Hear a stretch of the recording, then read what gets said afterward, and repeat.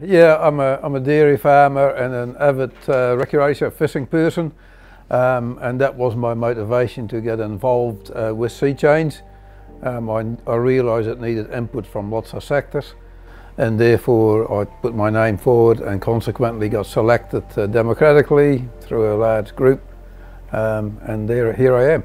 I've been living in the area since uh, about 1974 uh, um, so I'm a local now and um, what attracted me in the first place was the bush, the sea, the fishing, the diving. This is where I learned to dive and fish and I developed a passion for it and um, that's, that's why I chose this place to live. It's a fantastic place to Coromandel and I love the Hauraki Gulf.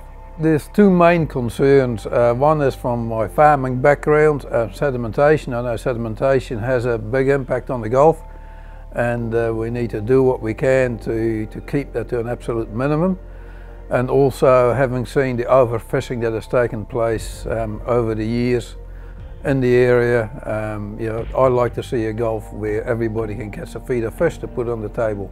We need to develop a marine spatial plan in order to, to protect our resources, to, to make sure that the Gulf stays healthy. If we don't do anything, then yeah, there'll be just an ongoing deterioration um, that is just not good for generations to come. So I think it's very important that we have a proper plan in place how to deal with the Hauraki Gulf Marine Park. The project uh, was initiated uh, by the regional councils, Auckland Council and Waikato Regional Council, and the stakeholder working group of which I'm a member. Um, it's got people from all parts of society. Um, yeah, we, we've got aquaculture people, we got commercial fishers, we got the recreational fishers, we got farmers, um, we got infrastructure people, community people, um, the environmental lobby is, is well represented also, and of course Mana Whenua is there big time as well. And what is very, very important from my point of view is that once we deliver a marine spatial plan, that it doesn't get picked apart by the agencies and they just take what they like because everybody's compromises have gone in there and if they pick out one thing, they might then disadvantage one particular group. So I think that's very important. So what we really want to see is, uh, is abundance, um, healthy habitats and thriving communities and that shouldn't be too hard.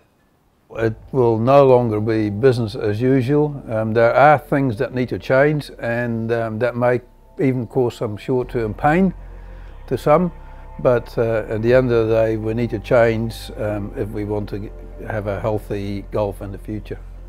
Sea change has changed the way I operate a little bit in, in two areas. Uh, one is during my fishing, I no longer keep all the fish that I'm allowed to, entitled to keep. I actually keep enough just for the table and I throw the rest back. Um, I got a scallop dredge which sits unused in the shed. And on the farm, um, yeah, we've um, fenced off all our waterways. We've uh, covenanted patches of native bush and we've also created an artificial swamp and we're hoping to create another one once finances allow. Um, that's all to capture nutrients and sediment that uh, could be excessive. It, my farm is my major asset. I love the farm.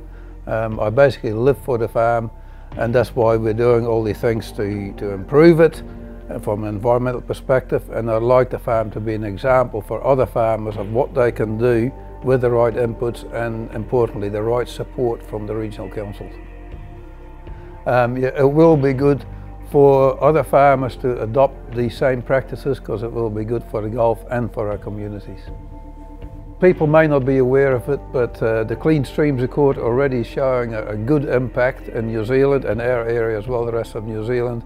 Um, for instance, um, down the Waihou and Piako rivers, nutrient inputs have either been held steady or slightly declined over the last 12 to 14 years. Sedimentation has been much reduced and yeah, the, the, the work that farmers are doing, the money they're spending is showing results already. Uh, but as always, we can do more and we must do more.